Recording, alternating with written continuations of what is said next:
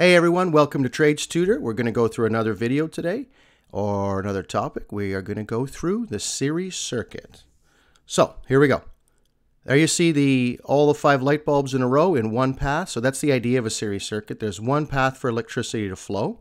You can see on the left hand side we have 120 volts alternating current. So the idea is this. Turn the switch on or close the switch. All five light bulbs come on. Open it and they all go off on, off. You kind of get the picture, right? So turn them all on. But what if this happens? What if one of one of one of the light bulbs goes off? And the idea in a series circuit, if one is out, they're all out. All right, so now let's just turn them back on. And then we're going to go through some calculations here involved with the series circuit. So the light bulbs represent resistors, and we R1, R2, R3, R4, and R5. Now, I know they're all the same, so the resistance should all be the same, but we're just using these as an example. And each one is going to get a different ohm rating 100, 200, 3, 4, 5. You get the idea. All right, let's take this, put it over to the side. And the idea is we're going to calculate three different things. First, we're going to find the total resistance. Then we're going to do the current flow. And finally, the voltage drop across each of the lights or each of the resistors. To do these calculations, we're going to need to use Ohm's law, and I'll put that down on the left. Now, if you don't, if you're not familiar with Ohm's law, you can go uh, to Trades Tutor, check it out. I have a video on that, and uh, while you're there, check out the playlist. Maybe there's some more stuff you might want to see. Okay. All right.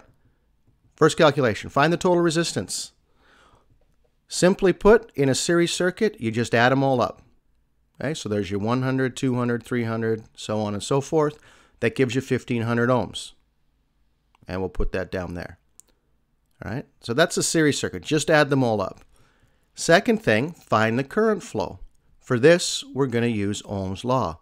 So E equals I times R, but we're solving for current, or the I, so we have to rearrange the formula, plug the numbers in, and what we find is it's 0.08 amps. Now the question becomes, where is it 0.08 amps? Well, the answer, everywhere. Okay, there's one path for the current to flow, and it's the same current going everywhere in the circuit. Kind of like a, let's just say a, a hose or a water system or something. One drop goes in, one drop comes out. Same with electricity. All right, so we've calculated our amps, 0.08. Now what we're going to do, the third thing, is the voltage drop across each resistor. We'll start with resistor 1. So, once again, back to Ohm's law. And we don't have to rearrange this because we're trying to find voltage, so we're trying to find E. Plug the numbers in. The 0.08 is the current. The 100 is the ohms, and we get 8 volts. But what does that mean? What is 8 volts? What are they talking about here?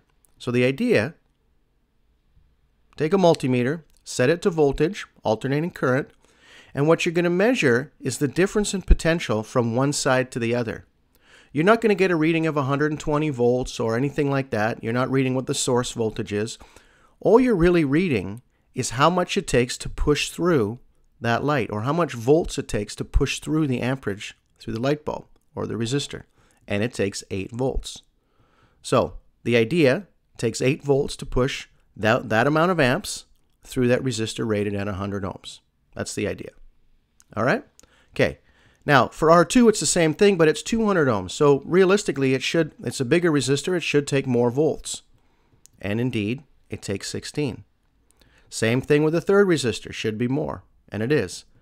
And the fourth. And the fifth. You kind of get the picture, right? Now, the cool thing about electricity is this. If you were to add up all the voltage drops, what do you think you're going to get with all those numbers? If you guessed 120, you're right. It uses all the source voltage. Okay, starts from 120 and it ends with zero on the other side. There you go. That's the series circuit, guys. Thanks for listening, and uh, hope you're having a good day.